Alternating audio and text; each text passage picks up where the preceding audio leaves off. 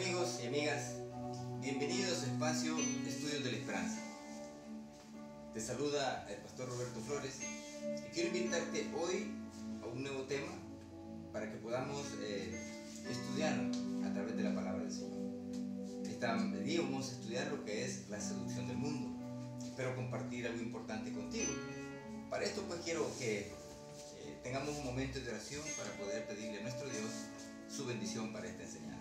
Quiero invitarte a que oremos. Señor, bendito Padre que estás en los cielos, quiero agradecerte por el tiempo de vida que nos das, por el privilegio de estar aprendiendo de tu palabra.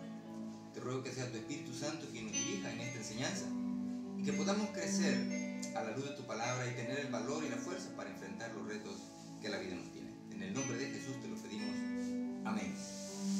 Amén. Quiero leer este texto para poder el tema. El pasaje bíblico que vamos a tomar es Primera de Juan, capítulo 2, versículo 15 y 16, y donde dice así, no améis al mundo ni las cosas que están en el mundo. Si alguno ama el mundo, el amor del Padre no está en él. Porque todo lo que hay en el mundo, los deseos de la carne, los deseos de los ojos y la vanagloria de la vida, no provienen del Padre, sino.